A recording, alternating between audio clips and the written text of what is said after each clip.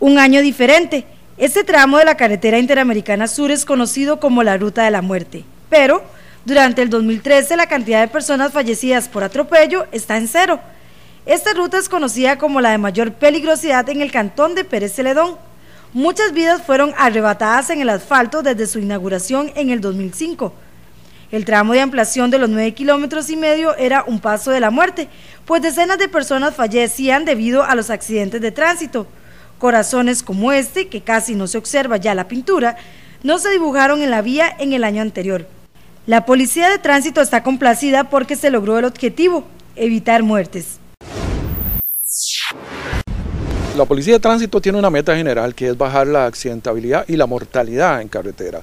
Eh, como todos conocemos, aquí en la zona de, entre San Isidro y Palmares de Daniel Flores, pues hay una ruta que fue diagnosticada como la ruta de la muerte y pues es de mucho orgullo, mucho placer decir que entre todos, no solamente la policía de tránsito es la que tiene el, agrado de decirlo, es que debería ser agrado para todos los pobladores de Pérez León y todos los que pasan por esta ruta. ¿Por qué? Porque se han cumplido objetivos. Cuando se hizo la ampliación de esta vía no se tomaron en cuenta algunas obras de protección para los peatones. Actualmente se cuentan con varios semáforos peatonales ubicados a lo largo del tramo.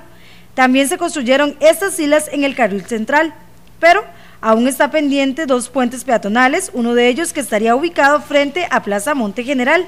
Lamentablemente hemos tenido que sancionar a mucho conductor que excede los límites de velocidad y otros tipos de infracciones que van eh, en favorecimiento de eh, los accidentes de tránsito. Esto es conciencia de cada uno y de todos los que habitamos en, en, el lugar y de los que usamos estas vías, no solamente esta, todas las vías, de que tenemos que comportarnos adecuadamente. Para este 2014 se espera que tampoco haya atropellos ni muertes que lamentar. Costa Rica no deben eh, haber muertos por accidentes de tránsito. Lógicamente esto es muy difícil de cumplir. Eh, ya tenemos una meta que es bastante dura, que para el próximo, para este año, más bien 2014, no exista otra muerte por atropello. Y además, que no exista otra muerte por ninguna circunstancia vial. Entonces, eh, esto es lo que estamos buscando, pero es un, un acuerdo es un acuerdo que tenemos que tomar los pobladores, porque no solamente son los que manejan carro, que todo el mundo dice el que maneja carro, no, el que anda en bicicleta, el que anda a pie, el que anda en una patineta, porque no tiene que andar en una patineta, el que, el que, el que se traslada en patines por, por, las carreteras.